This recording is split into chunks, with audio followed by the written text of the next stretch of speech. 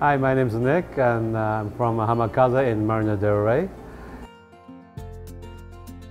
And today, before we show you how to make a food and stuff, here is my tool. Every sous chef has this one.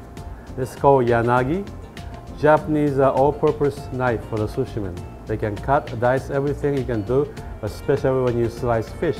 This is the best tool. Mine was uh, not that good one. This is made with stainless steel, probably the best of stainless steel made. It doesn't get rusty. But the, uh, this good knife of this kind will vary about $800 to $1,500 for normal range, made with tempered steel, the very sharp edge lasts longer. In order to get this one for yourself, you go into the regular knife shop? No. You go to the Japanese supply. Japanese supermarket? No. They, they only carry very cheap stuff. So you go to the Japanese restaurant supply in downtown, or you can ask your favorite chef to get it for you. You have to get the straight edge one. Cheaper one has wavy edge. It's very hard to use. To, to judge that is you hold the knife like this and see from the tail to the top is all straight line. Also, it's not waving or warping or anything.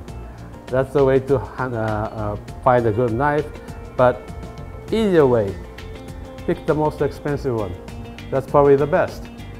Now you know how to choose a knife it's time for you to show you how to use a knife. When you use this kind of knife, you have to make the angle and you use the elbow, pull your elbow so that knife goes circular motion. This helps you to keep your edge last longer and slice it better. Okay, let's go. Okay, this is my regular knife. It's not tempered steel, the stainless steel, so that uh, doesn't have to uh, deal with the rust and stuff but it's also a little bit dull, easy to lose edges than tempered steel expensive one. Expensive one will cost probably $800 to $1,500 normally. These are a lot cheaper. Okay, how to use this knife? Japanese knife is made like Japanese sword. We take the uh, movement opposite to Western culture. This one was pull to cut, made to pull to cut the uh, items instead of push to cut. So let me show you with a lemon. Western way is push it down. You can cut it too. Japanese way, when you use this type of knife, sashimi knife, is uh, you have to use your wrist angled and hold it like that. Do not move the angle.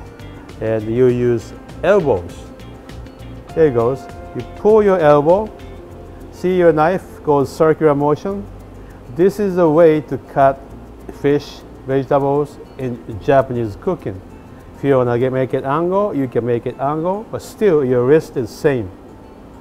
Here you go. One slice you can cut. Western way, you have to push it like this. When you push it, you lose your edge you, because you're, you're hitting a cutting board. When you pull, you don't really hit the hit the uh, cutting board, just the tip. I'm Nick from Hamakaze in Marina del Rey. You are watching Inside My Kitchen.